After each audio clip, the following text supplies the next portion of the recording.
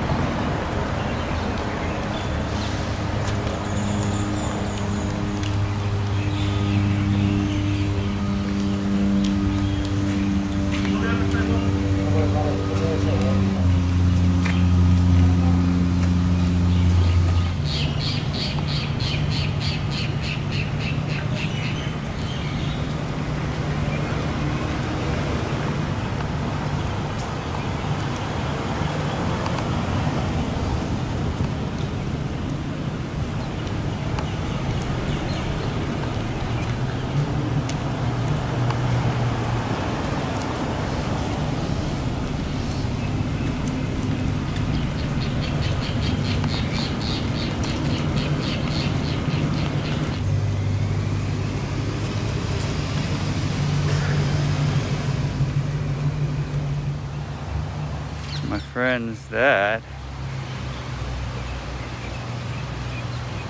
is the Iolani Palace.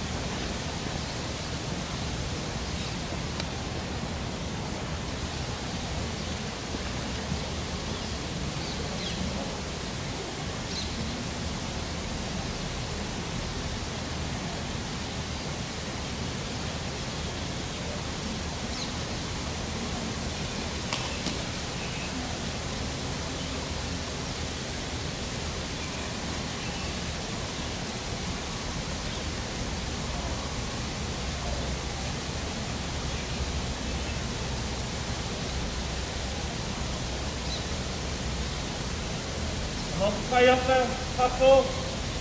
At this time, we'd like to invite the public, whoever has Ho'okupu or beloved Oibahine, that you guys line up and then speak. Offer you guys Ho'okupu.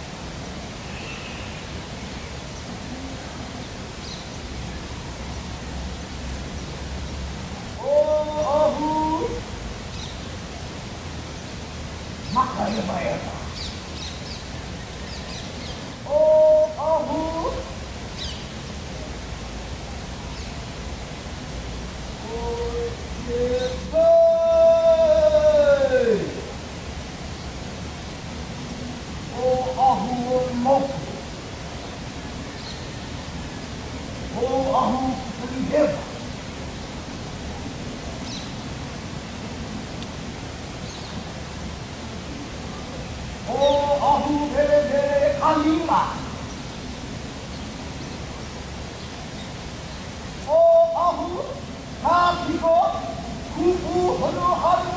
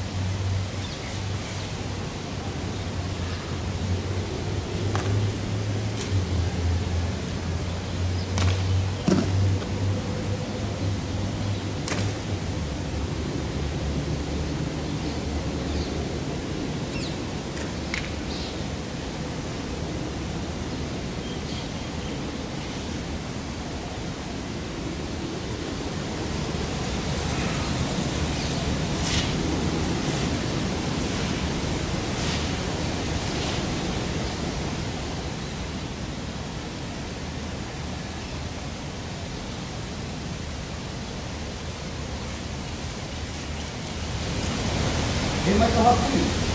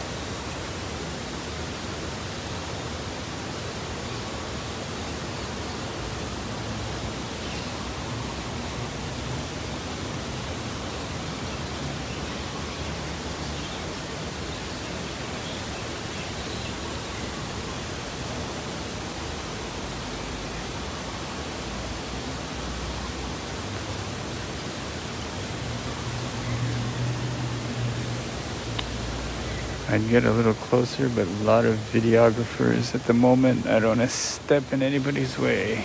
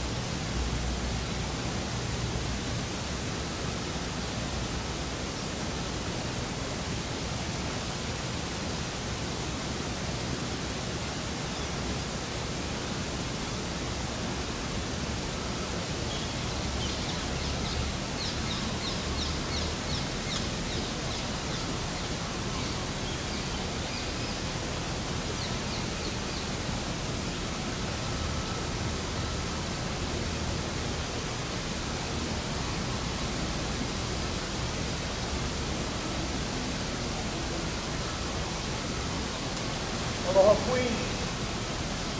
Aloha Kailan.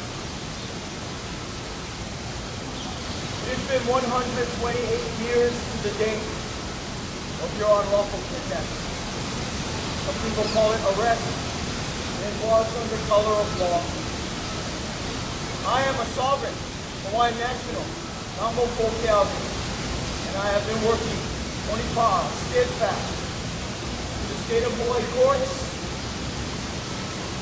counties, in public events to clarify our true status and the law of this island. Today is Restoration Day in hearts and minds throughout Hawaii and throughout the world. The truth of the law has already been confirmed. Over these 128 years, so much forensic evidence peacefully clarified our true status. And so today, we have come in faith and honor and peacefulness to restore our beloved kingdom, Ko Hawaii Kai'aina in continuity. And I will say that for the occupying power and for us, Lahui O Hawaii name, we are unified in the law. Unity in the law equals unity in the people. I am meeting later this morning Chief Vincent Redula of Docare, the our police that are charged with guarding the palace, your seat of government, our house, our title, our jurisdiction. Mahalo Pekua to guide us all, to welcome all of us to come to this sacred grounds. Mahalo to all of you, not just from me, but from all of your ancestors throughout the world. Today we bring back Ke Akua's law, back to Ke Akua's kingdom. Natural law justice has returned to Hawaii and the world.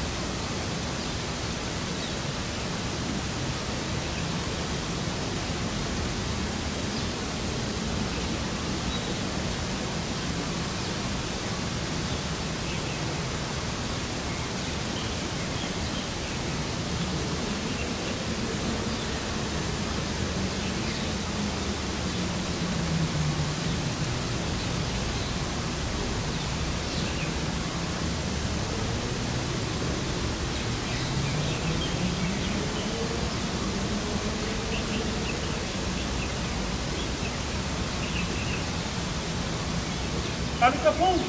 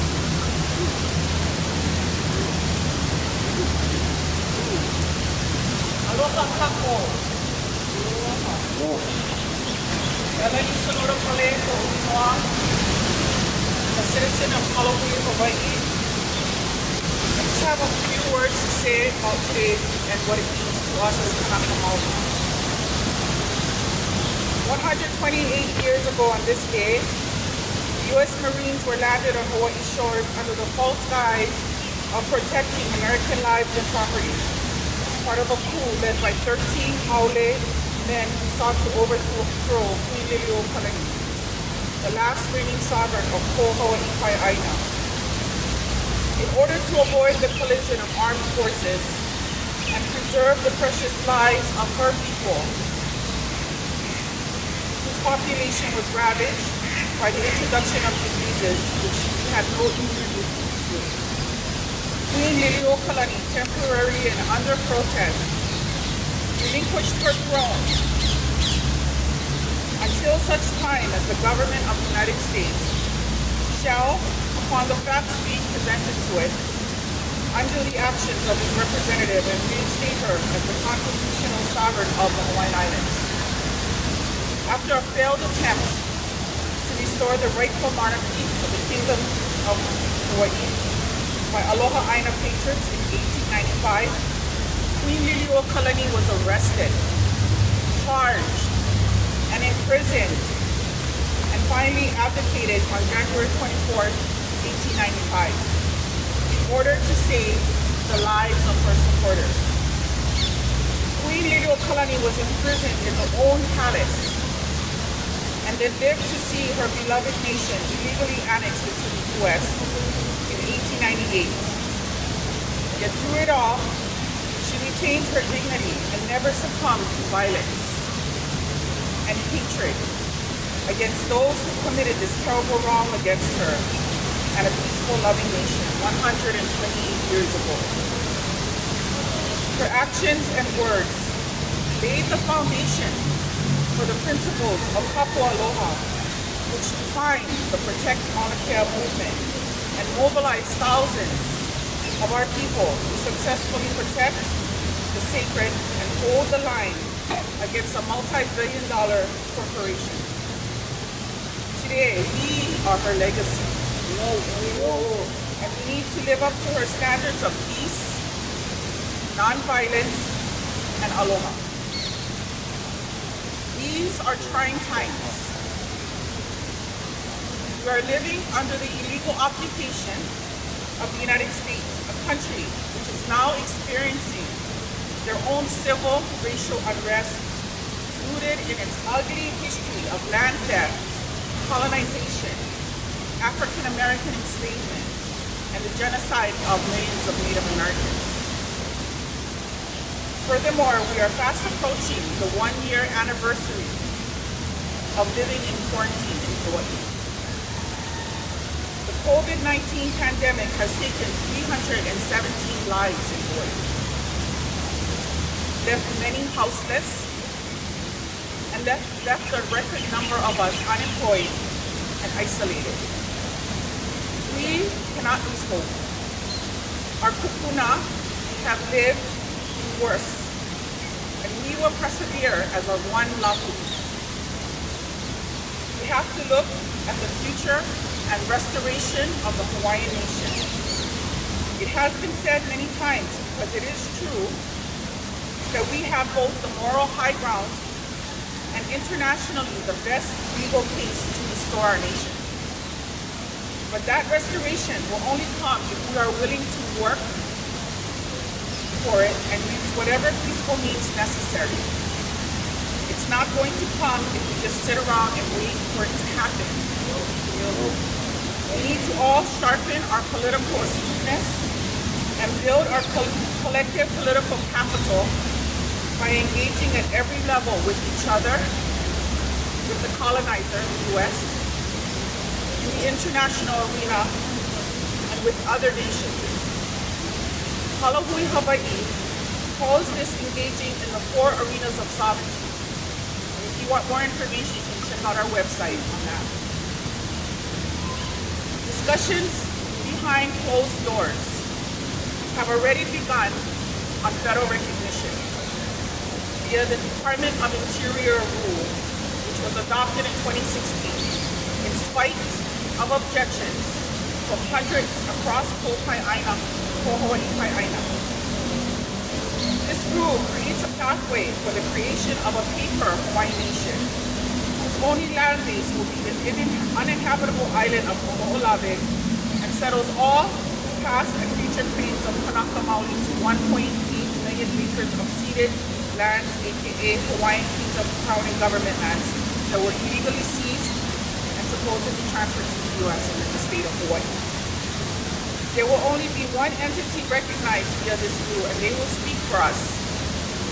We must and should find another more dignified path to nationhood that protects our internationally recognized human rights to self-determination, encompasses our diversity as a lahui, and prioritizes the return of control of 1.8 million acres to the Kanaka Maoli people, who continue to own some of the worst social-economic statistics in our own homeland. Never give up hope, and stay alert and engaged. We will get through this pandemic, and in regards to civil and racial unrest in the U.S., we need to follow the extraordinary example of our people. I'd like to end with a moment of silence for the 317 lives lost to this pandemic in. And two Mauna Kea kia'i who recently passed, Hannah Sky and Michael Glendon. Just a moment of silence for them.